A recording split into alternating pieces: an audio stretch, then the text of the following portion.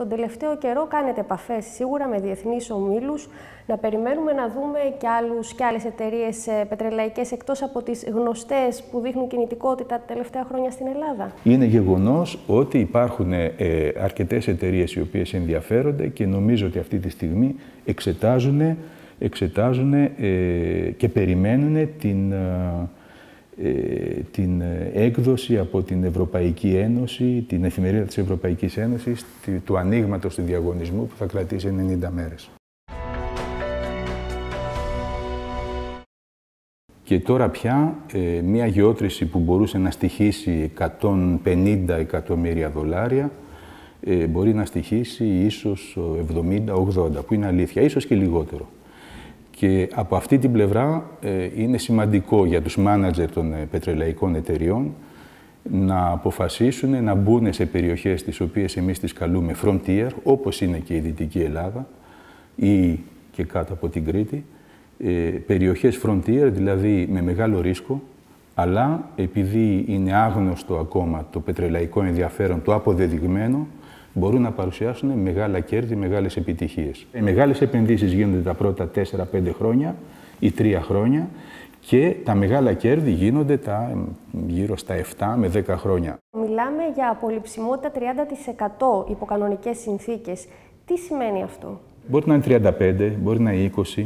Ε, παράδειγμα, ό,τι συμβαίνει με τους σχιστόλιθους είναι του 10% που δεν συζητιέται για μας εδώ. Αλλά όσον έχει να κάνει με ε, τις κλασικές μεθόδους τραβάμε γύρω στο 30%. Δηλαδή μένει μέσα στο πέτρο με 70%. Αυτό το 30% ε, είναι συνήθως αυτό που έχει παρουσιαστεί μία ή δύο φορές σε διάφορες συνεντεύξεις εταιριών ε, λέγοντας ότι πιστεύουμε ότι σε αυτή την περιοχή πρέπει να υπάρχουν 100 εκατομμύρια βαρέλια. Αν υπάρχουν 100 εκατομμύρια βαρέλια τα οποία μπορούν να εκμεταλλευτούν, σημαίνει ότι είμαστε γύρω στα 350, τα οποία είναι το συνολικό όγκος που είναι in place. Ε, είναι σημαντική όγκη και είναι σημαντική η προσπάθεια για να μπορέσουμε να βρούμε τέτοιους όγκους που πρέπει να υπάρχουν, αλλά σημαίνει χρειαζόμαστε εταιρείες που έχουν διεθνή εμπειρία, έχουν τεχνική δυνατότητα που έχει μετρηθεί πάρα πολλές φορές σε τέτοια παιδεία και οικονομική δυνατότητα να αντέξουν το ρίσκο, γιατί όταν κάνεις έρευνα δεν παίρνεις δάνειο. Τα έσοδα για το κράτος ε, πώς προκύπτουν από κάτι τέτοιο, να μας πείτε ένα πρακτικό παράδειγμα. Είναι αρκετά δύσκολο με την έννοια ότι ε, είναι, είναι μέρος της πρότασης η οποία γίνεται από μια εταιρεία. Έχουν μπει κάποιες ασφαλιστικές δικλίδες με μια κατώ, ένα κατώτερο όριο, το οποίο υπάρχει στο ίντερνετ, ακόμα και στο site της ΕΔΕΗ και στο ΦΕΚ που έχει βγει. Ε, είναι ένα κατώτερο όριο που είναι μια, μια, μια δικλίδα ασφάλειας, ε, ότι δεν μπορεί να είναι λιγότερο από 4% των συνολικών εσόδων ε, ενός, ε, ενός κοιτάσματος που θα, θα παράγεται. Η Ελλάδα δεν είχε μεγάλη παραγωγή, είναι μόνο ο πρίνος που είναι προς τιμήν της ενεργειακής σήμερα να συνεχίζει να παράγει και να κάνει επενδύσεις. Ε, είναι δουλειές δύσκολες, οι οποίες θα κρατήσουν πολλά χρόνια απλούστατα θα δώσουν τη δυνατότητα να υπάρχει ένα επιπλέον έσοδο για, την, ε, για το ελληνικό δημόσιο και θα επιτρέψουν επιπλέον να έχει η Ελλάδα μια καλύτερη διαπραγματευτική ικανότητα σε ό,τι έχει να γίνει τα επόμενα χρόνια από οικονομικής πλευράς.